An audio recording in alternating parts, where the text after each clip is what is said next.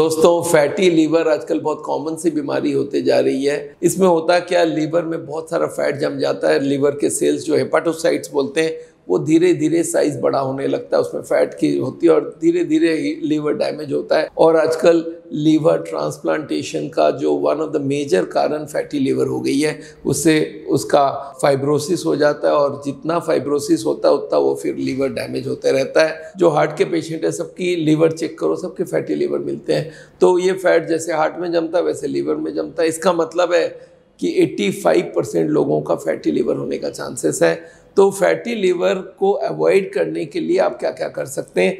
तीन best food मैं आपको बताने वाला हूँ। एक तो ब्रोकली आपको मालूम है हरी गोभी आजकल बहुत पॉपुलर हो गई है और ये ब्रोकली को एक एंटीऑक्सीडेंट माना जाता है और इसमें बहुत सारी चीज़ें ब्रोकली हम लोग को फ़ायदा करता है और रेगुलर बेसिस पे अगर आप ये लेते हैं तो ये हमारे बॉडी की फैट को कम करता है टॉक्सिन्स को हटाता है और साइंटिस्ट लोगों ने ये रिसर्च करके दिखाया है ये हमारी हेपेटिक ट्राइग्लिसराइड को कम करता है हेपेटिक मैक्रोफेजेस को कम करके लीवर को हेल्दी बनाता है और इसको डिफैटिंग करता है। तो आप हर दिन एक कप ब्रोकली का जूस या ब्रोकली को खाने का रख सकते हैं ब्रोकली का सूप पी सकते हैं। दूसरा है गार्लिक जिसको लहसन बोलते हैं, ये सुपर फ़ूड माना जाता है। और आपको मालूम है इसमें एलिसिन करके एक कंपाउंड होती है जो एंटीऑक्सीडेंट होता है और ये हमारे बहुत सारे बीमारियों को भी प्रोटेक्ट करता है और सबसे बड़ा alcoholic non alcoholic fatty liver को काफ़ी इम्प्रूव करता है। उसका इन्फ्लामेशन कम करता है फ्लश आउट करता है टॉक्सिन्स को और फैट मास को भी कम करता है। तो ये दोनों तो आपको लेना ही। और तीन चीज़ें आपको फैटी लीवर के लिए नहीं करना चाहिए। वो है कि शुगर अवॉइड करिए। जितना आप रॉ शुगर नहीं खाएँगे, उतना अच्छा रहेगा।